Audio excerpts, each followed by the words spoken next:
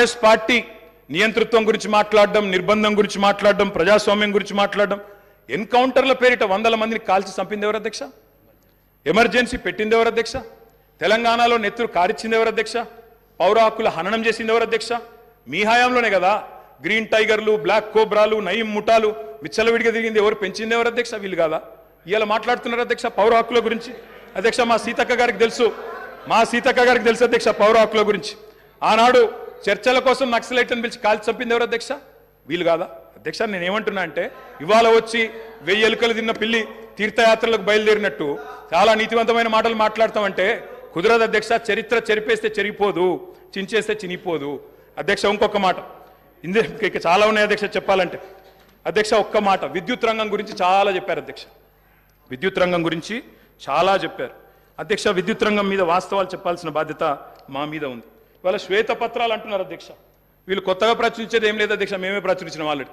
శ్వేతపత్రాలు ఇగో కో కొల్లలుగా ఒకటి కాదు అధ్యక్ష శాఖల వారీగా పది సంవత్సరాలు తెలంగాణ దశాబ్ది ఉత్సవాల సందర్భంగా అన్ని శాఖల శ్వేతపత్రాలు మేము ప్రచురించినాం. కావాలంటే పంపిస్తాం. గదే అధికారులు గదే ఐఏఎస్ అధికారులు కొత్తగా వచ్చిన వాళ్ళు ఎవరు లేరు. వాళ్ళే ఉన్నారు వాళ్ళే ఇస్తారు. గదే లెక్క మీరు తిమ్మిని బమ్మిని చేస్తామన్నా మసిబూసి మారేడికాయ చేస్తామన్నా మార్చగలిగింది ఏం లేదు. ఆల్రెడీ శ్వేతపత్రాలు ఉన్నాయి సార్. కొత్త ప్రచురించేది ఏమీ లేదు. వాళ్ళు కొత్తగా సాధించేది కూడా ఏం లేదు అధ్యక్ష. అధ్యక్ష ఆనాడు కాంగ్రెస్ పరిపాలనలో ఎట్లా ఉండేది అధ్యక్ష విద్యుత్ రంగం? కాలిపోయే మోటార్లు పేలిపోయే ట్రాన్స్ఫారంలు ఎక్కడికక్కడ మొత్తం లో వోల్టేజ్ సమస్యలు దొంగలు వచ్చే కరెంటు కోసం అర్ధరాత్రి వచ్చే కరెంటు కోసం బాయికడవై పండుకునే పరిస్థితులు. ఇప్పుడే ఇందాక రేవంత్ రెడ్డి గారు మాట్లాడింది నేను చెప్పాను అధ్యక్ష. ఆఖరికి ఎవరైనా చనిపోతే నెత్తి మీద నీళ్ళు చల్లుకుందామంటే నీళ్ళు లేని పరిస్థితి అధ్యక్ష. మరి ఇది ఇదొక ఇది నేను చెప్తున్న మాట కాదు అధ్యక్ష. ఈనాడు పేపర్లో ఈనాడు పేపర్లో రాసిన వార్త. రెండు వేల తొమ్మిది నుంచి పదమూడు మధ్యలో. రెండు వేల తొమ్మిది నుంచి పదమూడు మధ్యలో నాలుగేళ్ళలోనే ఎనిమిది వేల ఒక వంద తొంభై ఎనిమిది మంది రైతులు కరెంటు షాక్లతో అధ్యక్ష. ఇది బలవన్మరణాలు కాదు ఆత్మహత్యలు కాదు. కేవలం కరెంటు షాక్లతో చచ్చిపోయిన రైతులే ఎనిమిది వేల ఒక వంద తొంభై ఎనిమిది. ఇవాళ యాభై ఐదేళ్ళ చరిత్ర తీస్తే చక్రవచ్చి పడతారు నేను చెప్పాది అది నేను దానికి జోలికి కూడా పోను అధ్యక్ష. అధ్యక్ష చెప్పాలంటే చాలా ఉన్నాయి అధ్యక్ష. మా కౌశిక్ రెడ్డి గారు ఇక్కడే ఉన్నారు. హుజురాబాద్ ఎమ్మెల్యే గారు.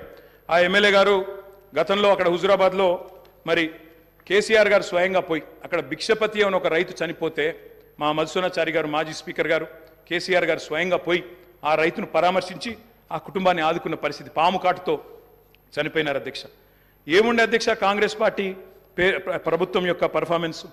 పరిశ్రమలకు వారానికి రెండు రోజులు పవర్ హాలిడేలు. రైతులకు ఏనాడు ఐదు ఆరు గంటల మించి కరెంట్ ఇయ్యలే. ఎప్పటికప్పుడు మూతబడ్డ వేల కార్ఖానాలు. ఇక రాస్తే రామాయణం అంతా చెప్తే మహాభారతం అంతా అన్నట్టు సబ్ స్టేషన్ల ముంగట ధర్నాలు. ఇక ఎక్కడికక్కడ ఎండిపోయిన వరి చేన్లు మక్కంకులతో రైతుల రాస్తారు రోకోలు. అధ్యక్ష ఆనాడు విద్యుత్ శాఖ మంత్రిగా ఆర్థిక శాఖ మంత్రిగా రోషయ్య గారు ఉండేది అధ్యక్ష కొనిజేటి రోషయ్య గారు. రోషయ్య గారు స్వయంగా ఒకసారి స్టేట్మెంట్ ఇచ్చినారు. ఏమని? నేను గనక ఒక సంవత్సరంన్నర లోపల విద్యుత్ వ్యవస్థను చక్కగా చేయకపోతే ఉరేసుకుంటా అన్నారు అధ్యక్ష ఇదే శాసనసభలో. సంవత్సరంన్నర తర్వాత తుమ్మల నాగేశ్వరరావు గారు ఇంకా పెద్దలు వారందరికీ తెలిసి ఉండాలి గుర్తుండాలి? ఆ రోజు రోసయ్య గారు బ్యాగులో పెట్టుకుని తెచ్చుకున్నారు అధ్యక్ష ఉరితాడు. నా వల్ల కాలేదు. ఇక ఉరేసుకోవడానికి నేను రెడీగా ఉన్నా అని చెప్పి ఇదే శాసనసభకి ఉరితాడు కూడా తెచ్చుకున్నారు అధ్యక్ష. అది వీళ్ళ పర్ఫార్మెన్స్ అధ్యక్ష విద్యుత్ సంస్థల లెక్కలు చెప్పిన అధ్యక్ష. లెక్కలు తప్పకుండా లెక్కలు చెప్పాలా? నేను లెక్కలు చెప్పాను అప్పుల పాలు చేశామన్నారు. అప్పుల గౌరవ పాలు గౌరవ శాసనసభ్యులకు అబ్జెక్ట్ చెప్ప ఏం చెప్తున్నా లెక్కలు చెప్తున్నా సార్. లెక్కలు చెప్తున్నా. స్వర్గీయ రోషయ్య గారు ఈ భూమి మీదనే లేడు కాబట్టి ఆయన పేరు తీసుకోవాల్సిన అవసరం లేదు. Okay sir. ఎవరైనా బతికున్న వాళ్ళు ఉంటే వాళ్ళ పేరు తీసుకో. తప్పకుండా సార్. స్వర్గీయ రోషయ్య గారి గురించి నేను ఏమన్నా తప్పుగా మాట్లాడితే మీరు చర్య తీసుకోవచ్చు సార్. అది అది మీ మీ మీ మీ డెసిషన్ సార్ అది. అధ్యక్ష మీరు విద్యుత్ సంస్థల అప్పుల లెక్క చెప్పిండ్రు నేను ఆస్తుల లెక్క చెప్తా సార్. అధ్యక్ష ఎనభై ఒక్క వేల ఐదు వందల పదహారు కోట్ల అప్పు చేసిపోయిండ్రు అన్నారు అధ్యక్ష.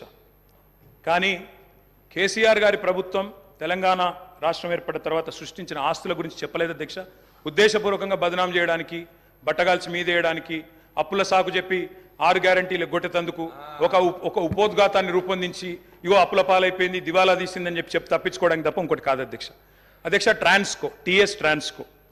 టీఎస్ ట్రాన్స్కో అధ్యక్ష ఇంకొక మాటలో చెప్పాలంటే అధ్యక్ష వీళ్ళు అప్పజెప్పిపోయినాడు రెండు వేల పద్నాలుగులో విద్యుత్ శాఖ అతి భయంకరమైన శాఖ అధ్యక్ష.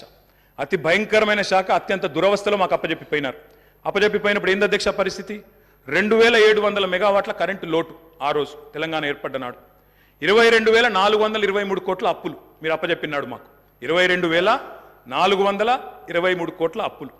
అధ్యక్ష ఆనాడు ఇది ఆ రోజు మీరు అప్పచెప్పినప్పుడు అప్పులు ఇరవై రెండు వేలు లోటు ఇరవై ఏడు వందలు.